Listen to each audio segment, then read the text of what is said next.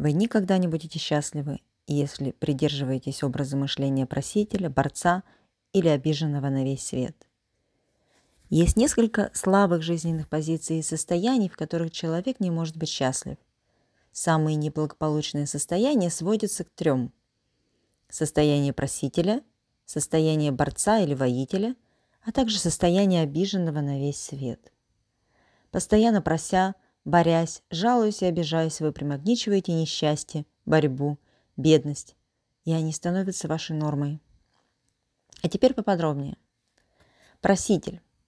В такой позиции вы постоянно о чем-то молите, просите, стоите на коленях, вам постоянно чего-то не хватает, вы испытываете постоянный дефицит сил, любви, денег, времени, проектов, клиентов, сделок, идей и так далее. Именно такой недостаток чего-либо вы и проецируете вовне. Перестаньте просить и умолять, а просто возьмите. Думайте о том, что у вас есть. Сфокусируйтесь на ваших достижениях, умениях, внутреннем богатстве и действуйте именно с таких позиций. У меня все есть, я всем делюсь, у меня легко получается двигаться вперед и расти. Борец. В таком состоянии вы постоянно с чем-то или кем-то воюете. Боретесь за свое место под солнцем, за свою жизнь, здоровье и счастье. Ваша жизнь превращается в вечную борьбу, войну, противостояние. Вы мыслите и поступаете так во всем, и по мелочам, и в больших вопросах. Перестаньте бороться. Все пойдет как по маслу.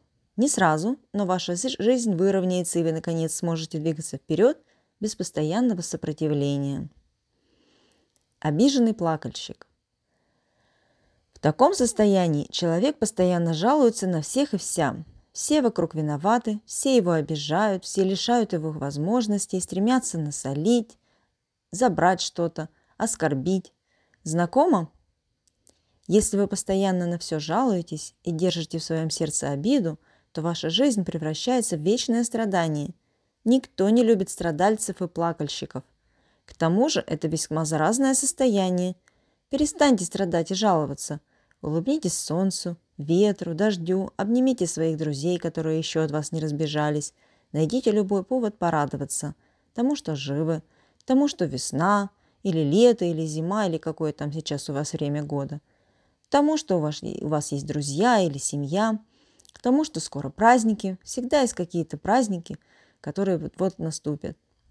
В общем, найдите хоть что-то в своей жизни, что заставит вас улыбнуться.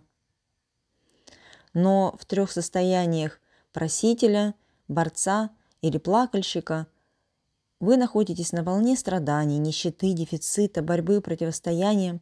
Так вы неизбежно теряете свои жизненные силы и привлекаете еще большую неудачу и несчастье в свою жизнь. Вместо этого – Будьте преисполнены благодарности.